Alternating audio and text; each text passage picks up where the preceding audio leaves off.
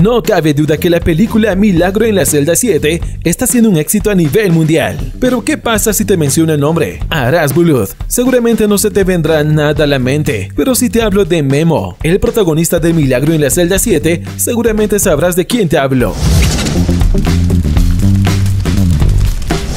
Aras Bulut es un galán turco que arrasa con las series turcas de la televisión. Sus personajes en novelas turcas, como Mete Sarf, Bayezid, Mert y Yamak, han trascendido fronteras. Aras Bulut Ingelmi es un actor turco con una vida muy interesante. No solo es atractivo, sino que es un actor de carácter que transmite emociones y se ha distinguido en papeles de gran intensidad dramática. Y más aún en su último papel como Memo, de la película Milagro en la celda 7. Este actor nació en Estambul el 25 de agosto de 1990 del signo Virgo. Su nombre es Aras Bulut, que significa entre nubes. Aras también significa águila. Estudió en el Liceo de Besiktas, club de fútbol del cual también es fanático. Desde muy joven se destacó como buen estudiante, por lo que recibió un premio al salir entre los 100 mejores estudiantes de Turquía. Empezó la carrera de ingeniería aeronáutica cuando fue sorprendido por el éxito de la novela Tormenta de Pasiones, que después de eso tuvo que suspender sus estudios. Se ha formado con maestros del teatro turco. Es un gran deportista especialmente le gusta el boxeo como disciplina de entrenamiento. Su vida familiar. Vivió con sus padres y dos hermanos mayores, Yesim y Okum, hasta hace pocos años. Tiene dos sobrinos con los que siempre se lo ve paseando o jugando. Su hermana Yesim es cantante y su hermano también es actor. Así que eso del arte viene de familia. Es muy apegado a estos afectos y es frecuente ver sus fotos familiares en la red.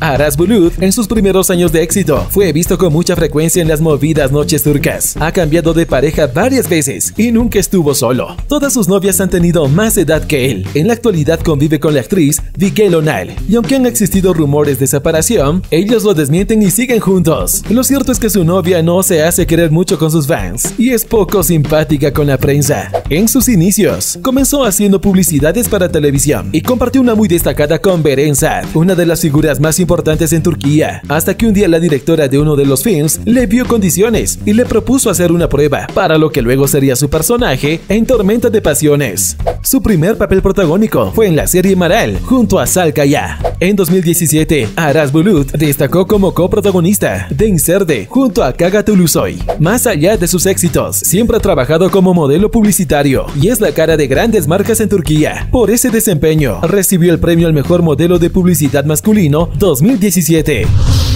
Pero vayamos a la actualidad. Durante estos primeros 20 días, hay una película que rápidamente se ha posicionado en los primeros puestos de distintas naciones de Latinoamérica. Su nombre es Milagro en la celda 7. La película cuenta la historia de Mehmet, un padre muy joven con discapacidad intelectual, y su hija de nombre Ova. Ambos viven en una humilde casa en la colina junto a la abuela de este, de nombre Fatma. El amor incondicional que siente Memo por su hija, que lo lleva a hacer todo por ella, a pesar de su condición mental y la desgarradora trama que refleja la injusticia y discriminación hacia él por su retraso mental y nivel económico, lo que ha hecho que esta película se convierta en un éxito absoluto y provoque un mar de lágrimas en las personas que la han visto. Milagro en la celda 7 se estrenó en septiembre del año pasado, esto en Turquía, alcanzando una buena acogida con el público de Oriente. Hace un par de semanas que llegó a la plataforma de Netflix para posicionarse como uno de los favoritos de los usuarios en Latinoamérica. Ante la buena actuación de Aras Bulut, miles de personas empezaron a preguntar si es que él también sufría la condición mental de su personaje, por lo tan real que se veía en su papel. Sin embargo, todo es parte del gran talento que posee que lo lleva a ser tan versátil.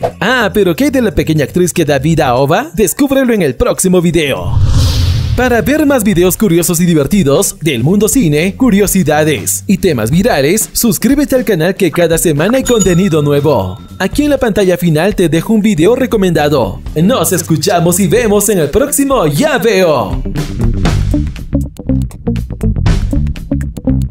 you.